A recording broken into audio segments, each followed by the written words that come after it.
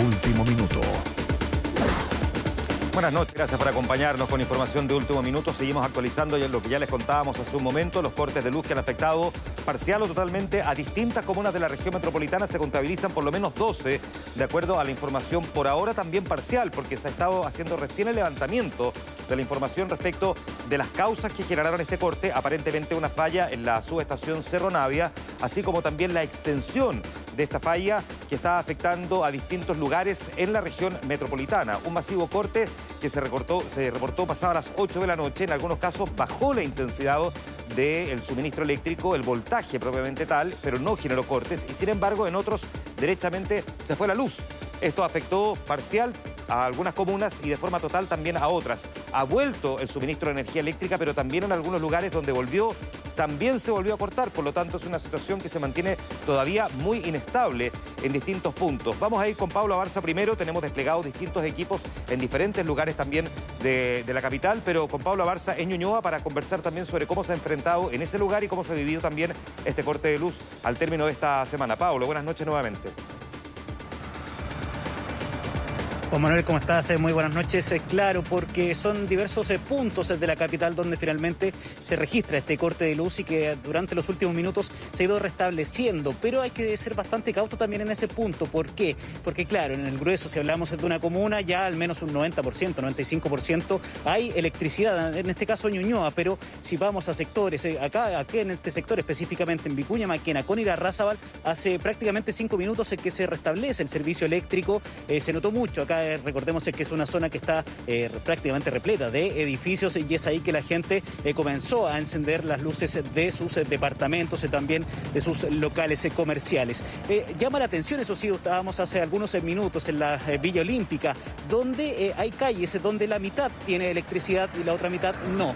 Algo que también nos reportaron los propios vecinos ahí de la zona, no es solamente el tema de la luz que está, está yendo y volviendo, sino que además está el tema de las telecomunicaciones, del Internet específicamente las redes móviles, donde eh, también hay un problema eh, con los eh, teléfonos, incluso algunos dicen que se, les fue el Internet derechamente. Entonces, claro, ahí está la preocupación, también las autoridades han hecho este llamado, tener precaución a las personas que si bien estamos en cuarentena todavía siguen trabajando algunos deliveries, también el servicio de transporte, taxistas, y es ahí donde se hace este llamado a que los, en este caso, semáforos puedan tener algún tipo de descoordinación, claro, ahí hay que tener bastante cuidado y obviamente ya en las zonas donde no hay electricidad bajar la velocidad porque hay mucha gente, muchos eh, trabajadores de delivery. Nosotros también obviamente hacemos ese llamado a que tengan precaución con ellos. Así que eh, la gente, al menos acá en la comuna de Ñuñoa, están muy atentos a esta situación porque la baja de electricidad eh, también lo puede complicar. Algunos de ellos nos dicen qué pasa con nuestros artefactos electrónicos,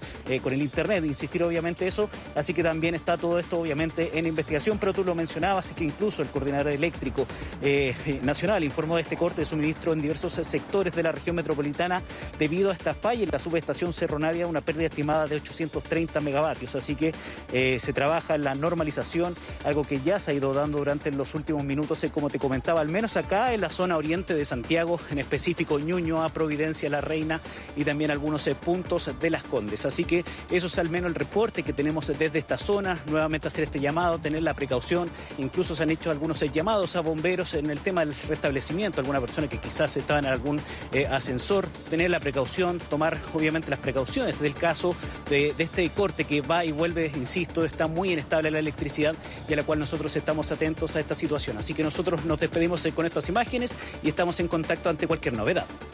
Pablo Barza desde la comuna de Ñuñoa con la información que nos entrega a esta hora. Aprovechemos de revisar también lo que estaba publicando en su cuenta en Twitter el coordinador eléctrico que representa al sistema eléctrico de nuestro país, donde la información que publicó hace muy pocos minutos estaba informando de hecho que había dado la instrucción de normalizar el 100% de los consumos afectados luego de este corte de luz que se registró esta noche en distintas comunas de la región metropolitana y que las causas van a ser investigadas. Ha instruido normalizar entonces este corte el coordinador eléctrico, pero por ahora todavía se están informando eh, que se mantiene en algunas comunas la falta de suministro de energía eléctrica. Esto fue publicado hace 16 minutos y 17 minutos aproximadamente.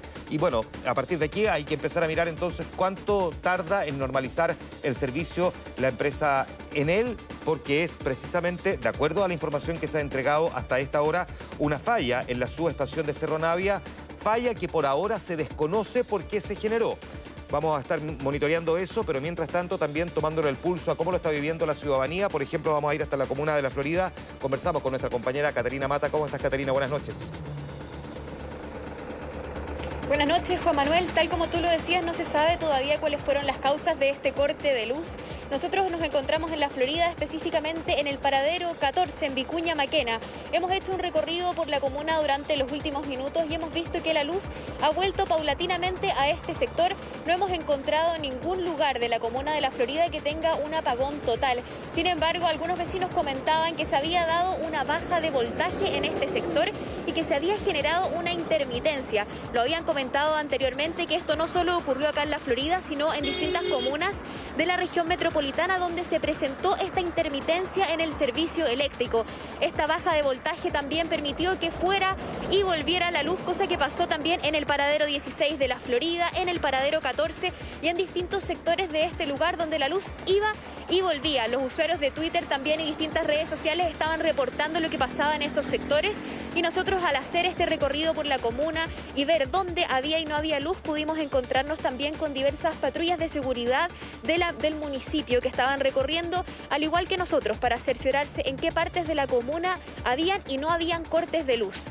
Actualmente en este específico sector de la Florida, que es el paradero 14 en Vicuña Maquena, hay luz, el suministro eléctrico ya volvió hace bastantes minutos atrás, pero siguen habiendo sectores de la comuna donde se mantiene esta intermitencia que la luz va y viene. Cuando nosotros veníamos en camino hacia este sector, nos topamos también con algunos semáforos que se habían apagado y que se encontraban también sin suministro eléctrico, no solo en este sector de la Florida, sino que en comunas aledañas como Macul y San Joaquín, donde también se ha estado volviendo el suministro eléctrico y se mantiene esta intermitencia. Caterina Mata desde la Florida también reportándonos entonces cómo se vivió en esa comuna y con esto que les describíamos que pareciera ser entonces la tónica que se ha repetido en varias comunas de la región metropolitana donde el corte pareciera recuperarse y nuevamente se presenta y por lo tanto ha sido muy difícil poder restablecerlo por al menos en, al menos algunos sectores de distintas comunas de la región metropolitana. A la espera entonces de la información respecto de las causas reales que provocaron este corte y también cuándo se va a poder recuperar la situación del suministro de energía eléctrica, seguimos conversando con nuestros periodistas en las calles como lo estamos viendo ahí en eh, pantalla. Mientras tanto, gracias